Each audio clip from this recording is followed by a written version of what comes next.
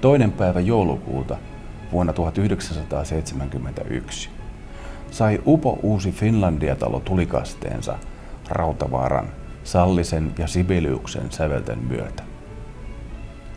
Tuo tilaisuus oli kansallisesti hyvin tärkeä, sillä olihan kyseessä kansallisarkkitehtimme Alvar Aallon kenties merkittävimmän rakennuksen käyttöön vihkiminen. Meille helsinkiläisille muusikoille on vuosikymmenten aikana ehtinyt syntyä tätä rakennusta kohtaan aivan erityinen tunneside.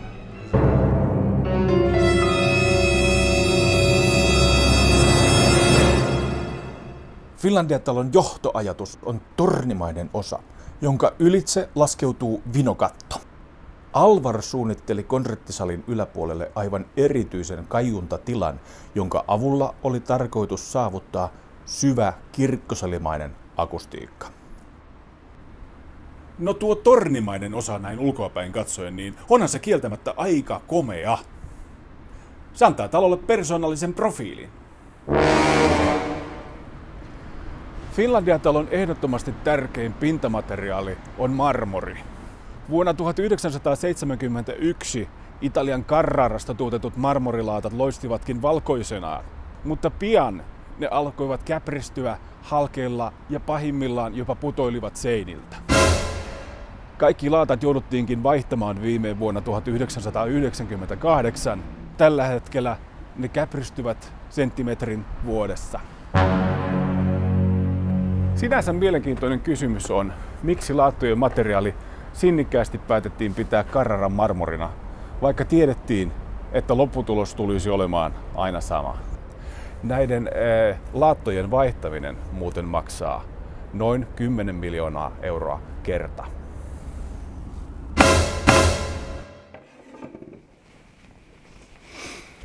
No entäpä sitten Finlandia sali? Kongressikäytöstä huolimatta peruslähtökohtana oli suunnitella nimenomaan konserttisali. Ja Alvar laittoikin aivan erityistä painoa juuri akustiikan onnistumiselle. Tuo äh, kaiuntatila salin yläpuolella kuvaa erittäin hyvin Alvarin kyvyttömyyttä ymmärtää akustisia lainalaisuuksia. Itse asiassa yhdessäkään Alvarin suunnittelemassa rakennuksessa ei ole musiikin esittämiseen soveltuvaa akustista tilaa. Ei Rovaniemellä, ei Saksan Essenissä, eikä varsinkaan Helsingissä, jossa Alvar onnistui pilaamaan kaksi konserttisalia, kulttuuritalon ja Finlandia-talon.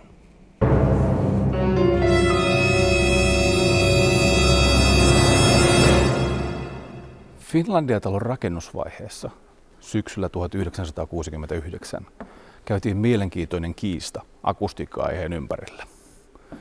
Talon suunnittelussa mukana olleen ääniteknillisen toimiston edustaja Alpo Halme kyseenalaisti Alvarin saliakustiikan toimivuuden kokonaisuudessaan.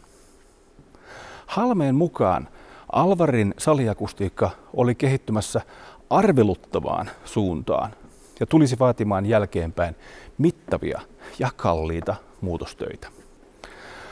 Alvarin vastaus Halmeelle oli tyrmäävä.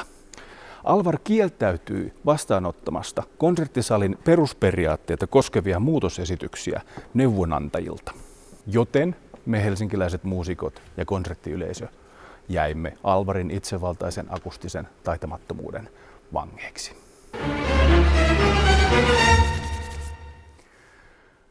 Kokeillaanpa Okon metodia.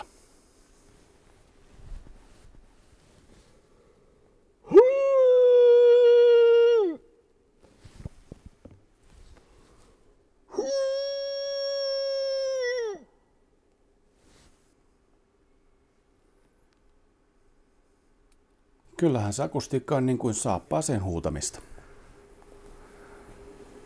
Ai niin. Kelvottoman akustiikan lisäksi Alvar jätti meille muusikoille toisenkin perinnön. Soittajien työtuoleksi valittiin Alvarin ensimmäisen vaimon Aino Aallon suunnittelema tuoli 615, joka pääpiirteissään samanlaisena löytyy edelleen Artekin valikoimista. Tuolia toki muokattiin hieman, mutta nuo muutostyöt eivät poistaneet tuolin perustavanlaatuista soveltamattomuutta soittotyöhön. Tuolissa on useita vikoja, mutta vain muutaman mainitakseni. Tuolin etureuna on liian korkea, se on liian kova, istuimen kallistus on väärän suuntaan, tuoli on liian matala, selkänoja on huono. Tämä tuoli onkin epäergonomisuudessaan soittajan fysiikalle yhtä tappava kuin Finlandia-talon akustiikka musiikille.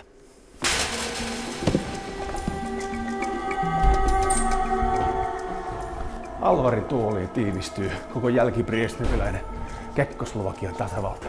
Harmaa 80-luku ja muutuksen pelko perkele. Alvar oli ihan samanlainen kuolevainen, siinä missä me kaikki muutkin. Mä en ymmärrä tätä jatkuvaa tuotannon ja henkilön mystifiointia jalustalle nostamista. Ja suomalaista muotoiluako? No totta helvetissä. Eikö me nyt vähitellen voitu lopettaa tää säätäminen ja hössöttäminen? Ja myöntää, että osa kansallisarkkitehtimme tuotannosta on pelkkää p-